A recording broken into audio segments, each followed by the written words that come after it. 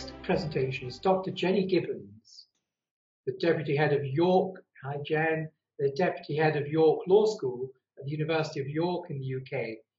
And Dr. Gibbons is going to speak about research magpies and shiny unofficial knowledge in legal education.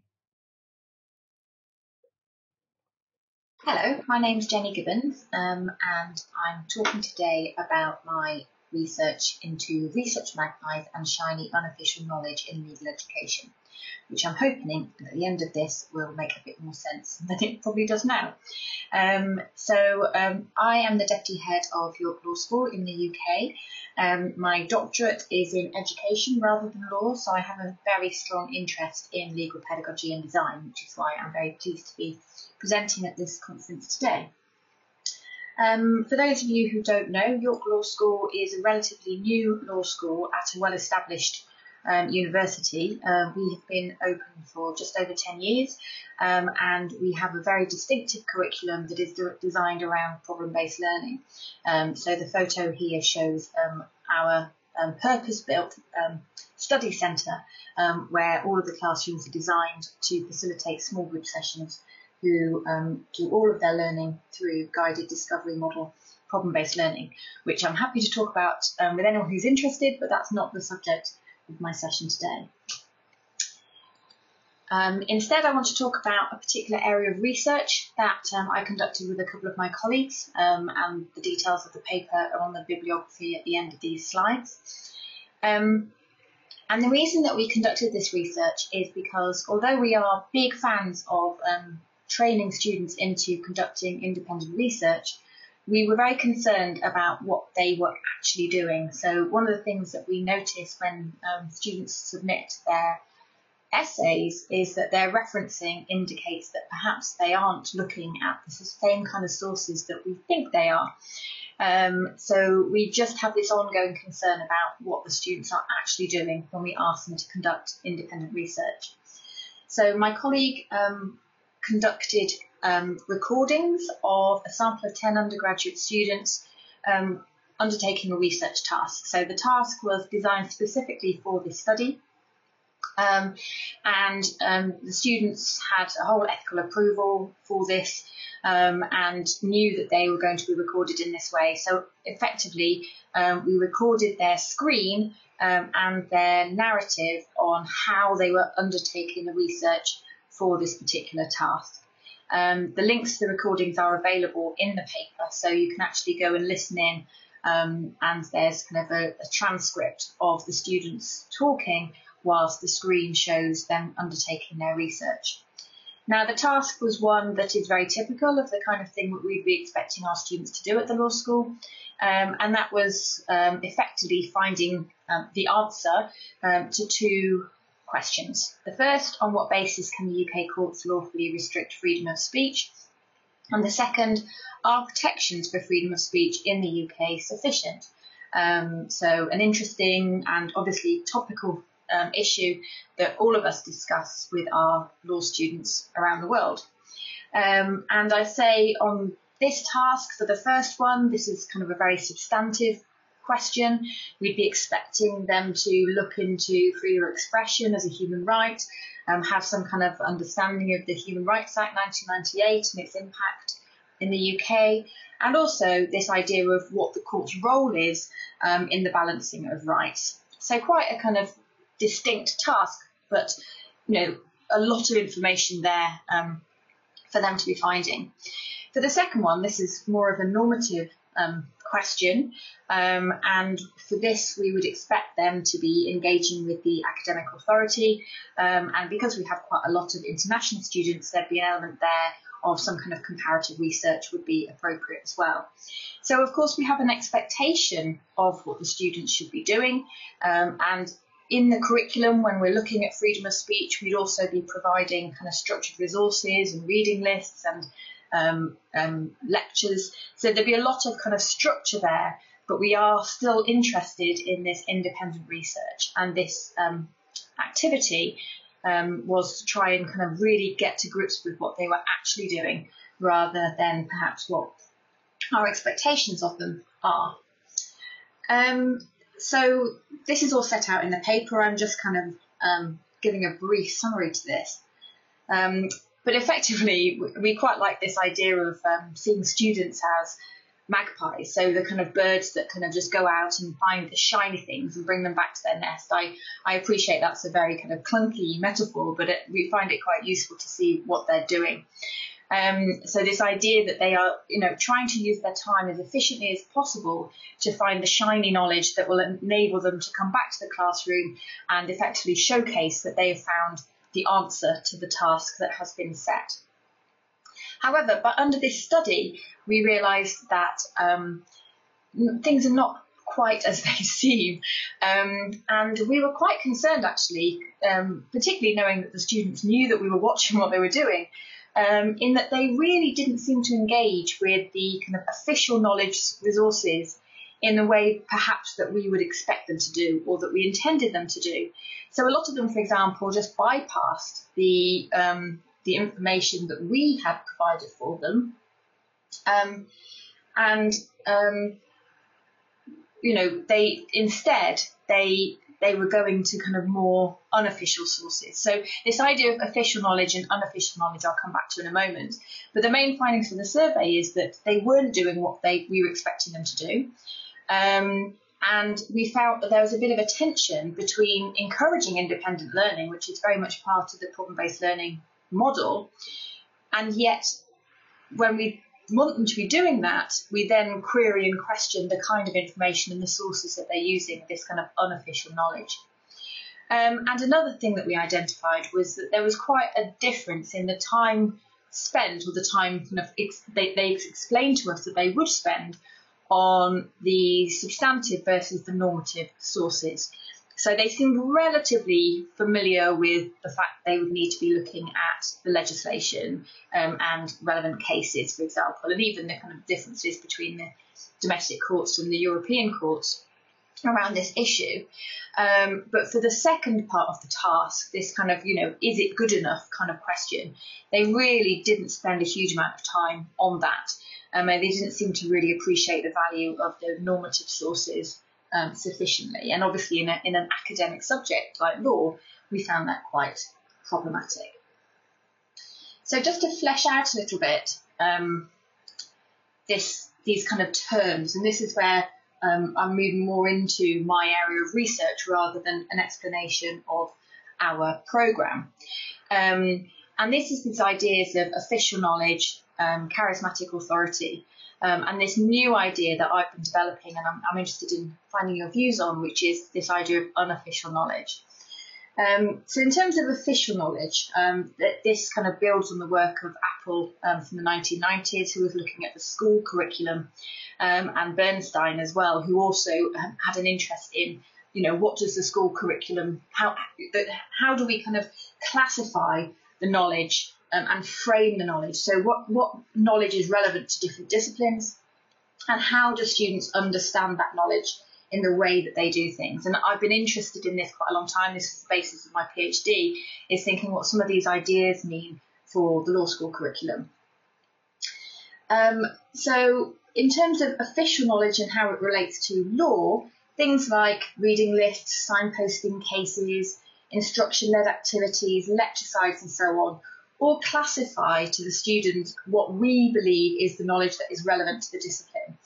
And also the way that we present that, um, and particularly around kind of assessments, we kind of frame for them what knowledge we regard as important and we want them to effectively showing back to us. Um, and so there's a kind of um, authority around the law school that gives legitimacy to the knowledge that we present as being um, the curriculum. Um, I'm kind of going over a huge amount of work um, in this kind of brief summary, but essentially um, these ideas of official knowledge are quite well established. And in law, they very much link to, for example, the qualifying law degree, the kind of things that the professional regulators tell us that we should be telling our students. The concept of charismatic authority is one that you may be familiar uh,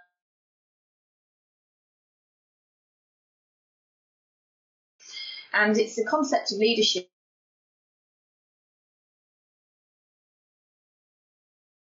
involves a type of organisation or a type of leadership in which authority derives from the charisma of the leader. Um, and this stands in contrast to two other types of authority, being legal authority and traditional authority. Um, and just to let you know, I took that definition, cut and paste from Wikipedia. And my issue here is that's exactly what the students do. That Wikipedia and Google sources have themselves charismatic authority, and the students use their research to find these kind of shiny things that are very easily accessible and that they can bring back and kind of show that it has charismatic authority. So, this third element of unofficial knowledge is a concept that I've been developing in my work. Um, and it's effectively building on this idea of, you know, can we regard um, Google as having charismatic authority? And what does that actually mean for the way that we classify and frame the knowledge in our curriculum? So, this idea of weakly classified information um, has an impact on what the students actually learn and what their perception of law actually is. And following on from our study, um, that is something that we find quite problematic. So, in the task that we set them relating to freedom of speech, if they had just used online search engines to find their answers, what answers would they be finding? Um, and you know, when I did this for myself, just using kind of random search terms, or even what the students do, which is just take the whole question and put it in the search bar, what do they actually find out? Um, and it was quite interesting in different um, search engines. Um, it, it's very American focused. Well, that's one thing. So when we're kind of looking at the UK Constitution and UK human rights, you have to kind of wade through a lot of American sources. Um, but also, of course, the algorithms that you have created on your own computer will also dictate the kind of information that you find. And I think all of those are problematic elements.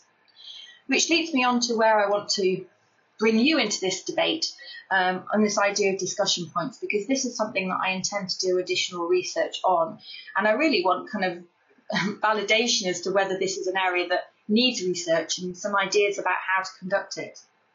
So, in terms of the, the last five minutes of this um, presentation, this session, um, I'd really like to kind of get your ideas on these two discussion points. So, first of all, thinking about the power bases, um, what are the influences that actually determine what unofficial knowledge looks like, um, and does that create echo chambers? Will that actually um, change what people think some of these key legal concepts and principles mean um, and you know what what impact does that have on us in the institution? Um, and separate, secondly, you know, is this something that needs greater theoretical underpinning? Um, is there scope for this to kind of join these ideas of charismatic authority um, with this idea of official and unofficial knowledge? Um, and you know, I can see that it has resonance in law, um, but what does that mean for other disciplines? Um, and also kind of law as taught in other areas. So I'm going to stop talking at this point, and I'm hoping that um, this will be the point that people can join me in these conversations. Thank you. Thank you, Jen. And uh, well, we do have, uh, so there's a great presentation, of course, and we've got one question from uh, George from the Access to Justice group, who spoke earlier in the afternoon. And George, uh, George asks, if students are using charismatic information anyway, would you encourage students to contribute to this type of information through editing wiki pages, for example? Hi, um, I found that a very um, disconcerting thing of watching my own presentation. I think that's the first time I've done that, so that, that was rather discombobulating. Um, that's a really interesting point about this, um, bringing, picking up this charismatic authority, charismatic information point, and it links up with some of the former presentations about things like um, the Wikijuris project and kind of open access, open curated materials. And I think I think they are very useful. However, I do think that we need to be thinking about the power bases of the curation. Who is responsible for putting the boundaries around that knowledge? Um, so I absolutely think that the student voice should be in there, um, but what who who ultimately gets to decide on that? Um, and who has the legitimate authority to be that curator, um, to be the person who is setting the boundaries on knowledge. And I'm finding the kind of Google you know, at the moment it is Google or the kind of, you know, the people in Google who have these kind of abilities to kind of do it, but they're doing it in a very light touch way. Um, and I, you know, I, don't have the answer to that. And I think it's really important to have this student as producer. Um, but it does lead to these questions about what does that actually mean for the knowledge itself. just, I mean, I've got two questions. Just follow up. I mean, presumably the only way you could know You'd have to ask Google, I guess. Would you? About how. You know, well, this is uh, Google itself is a very kind of opaque organization. You know, who, how how do we know where they draw the line as to what is okay and what is not? And my concern is there's a huge amount of misinformation, bad scholarship, bad knowledge on the internet, and for a young you know student who is very familiar with just kind of looking for the answer on the internet. And I think for school education, that's you know that's an efficient way to spend their time. But once we get into what we're doing, which was we're trying to create critical thinkers and um, people who are going to generate new knowledge, if the foundational base that everyone is working on is so unstable, what does that actually mean for for future knowledge? Um, so so can we trust Google to be the people to do that. I, I haven't got an alternative, but I'm just saying that we need to be kind of mindful of the kind of very unstable foundation of knowledge that is being used in this way.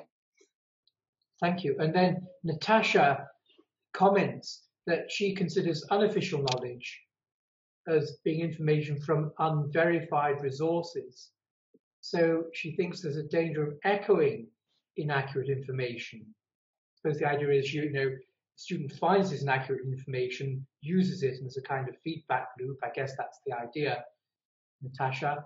Um, and uh, the question, Natasha's question is, is it so much about the charismatic nature of Google, or is it just more about convenience and speed of using Google or Wikipedia? Um, picking up on that kind of verified and unverified sources, um, I think it also goes then to whether we believe that a verified source is therefore the truth. Um, and in the current debate that's happening around the world, you know, there's a lot about whose truth are we talking about here. Um, my subject that I teach the most is um, I teach constitutional law and I teach human rights law. And they are two kind of subject areas where the established textbooks tell a particular version of the historical truth. And the conversations I have with the students is, well, there's another version of truth, and the, the some of the voices haven't been heard in the official versions of knowledge. So I do think there's a space for unofficial knowledge to effectively challenge the official knowledge and say, actually, what you're saying is just one version of the truth. And so if we make that distinction between the textbooks being right and Google being wrong, I think that's too simplistic because actually the textbooks themselves are a convenient version of a simplified truth that tells a particular voice in a particular narrative.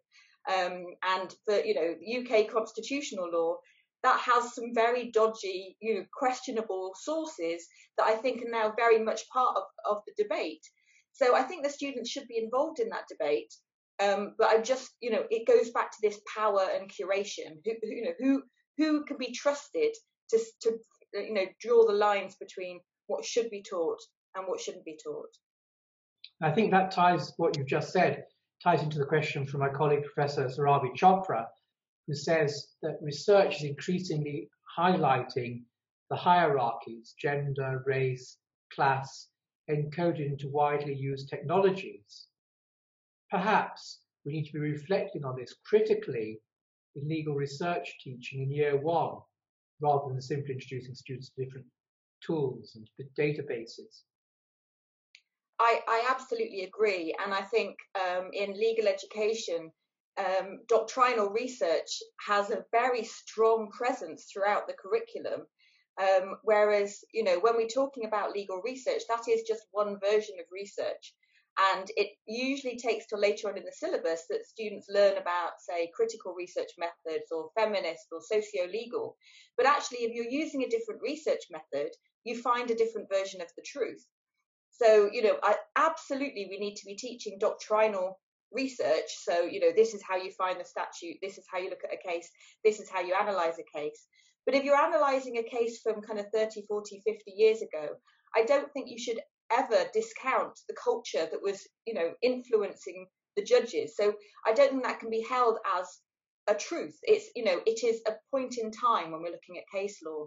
And if you actually introduce them to kind of critical method, feminist method, then those kind of critical voices come into their heads when they are doing doctrinal case analysis. And I mean, colleagues and I may disagree on this, but you know, I, I, think that is as important as discussion as kind of looking at what one judge said versus what another judge said. When both of those judges are dead, and both of those judges came from a, a particular, you know, demographic um, at a particular time.